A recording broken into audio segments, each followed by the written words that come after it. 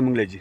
देखिए, ऐसा है, मुझे भी कल ही वीडियो के माध्यम से जानकारी मिली। हालाँकि सोशल मीडिया में परसों से खबरें आ रही हैं कि ऐसे से ये जो हमारा ऑफ़िस था, कार्यालय चौपाल में, वो किसी दबाव में और तानाशाही के कारण बंद कराया गया है, क्योंकि जिस नामांकन था, हम सब लोग वहाँ थे और उससे पहले वहाँ ऑफ़िस खोला गया था।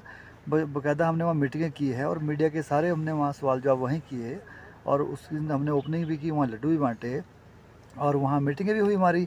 और नेक्स्ट डे जो मुझे मालूम हुआ हुआ कि वहाँ पे वो ऑफ़िस उन्होंने ताला लगा दिया गया है दबाव के कारण और नाम लिया गया कि कांग्रेस के लोगों द्वारा या जो भी नेताओं का नाम आ रहा है, उनके द्वारा बंद कराया गया, जो कि दुर्भाग्यपूर्ण है। मैं कहता हूँ, कोई बात नहीं, आप हमारे ऑफ़िस तो बंद कर दोगे, करवा दोगे, लेकिन आप लोगों के दिलों में जगह है, उनको कैसे बाहर निकालोगे? दूसरी बात ठीक है, आप हमारे ऑफ़िस बंद कराइए, हम सड़कों पे बैठ जाएँगे, सड़कों पे ऑफ़िस खोल लेंगे। लोगों के घरों में हमारे ऑफ़िस लगे हुए हैं, सब घर में हमारी जगह है, लोगों के दिलों में हमारे लिए जगह है।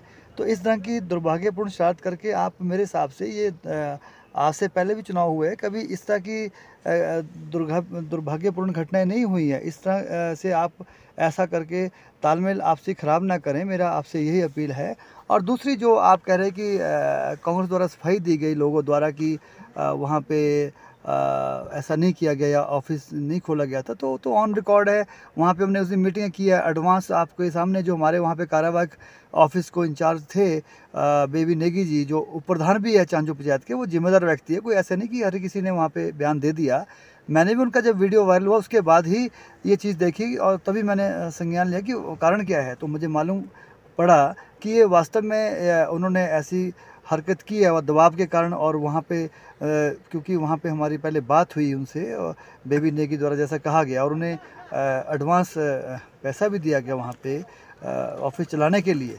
लेकिन अकारण एकदम उन्होंने इस ढंग का ये फैसला लिया ऑफ़िस बंद करा के, ताला लगा के, और इस ढंग का मेरे हिसाब से ये चौपाल के चुनाव, मैं भी चार लड़ चुका हूँ, पाँचवा चुनाव लड़ा रहा हूँ। ऐसा कभी हुआ नहीं आज तक तो दुर्भाग्यपूर्ण है मेरा यही अपील है इन कांग्रेस जनों से, जो भी इनके नेता हैं, इस तरह की घिनौनी हरकत करके आप चौपाल के लोगों में बहुत रोष आप व्यापत है और मुझे कभी ये धमका रहे हैं, सराह में मैंने देखा वीडियो।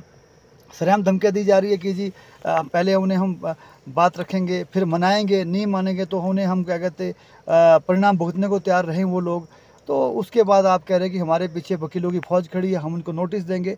ये कैसा चुनाव लड़ने जा रहा है। आप तो मेरे हिसाब से अपनी पार्टी को बदनाम करने जा रहे हो। जो लोग आपकी तरफ़ आना भी चाह रहे हैं आप उनको परे को धुकेल रहे हो। मैं धन्यवाद करता हूँ कि आपकी बुद्धि जो इस ढंग की चली है ये कोई इसका इलाज कराओ। इस ढंग की जो आप भाषा का प्रयोग कर रहे हो चौपाल जनता ऐसी भाषा को सहन नहीं करने वाली है। और तो, इस तरह के घिनौने काम ना करें। मेरा यही अपील है। कि ऐसी हरकतें करके आप चौपाल के जो लोगों का जो आपसी प्यार है, भाईचारा है, उसमें दरार बांटने की कोशिश ना करें।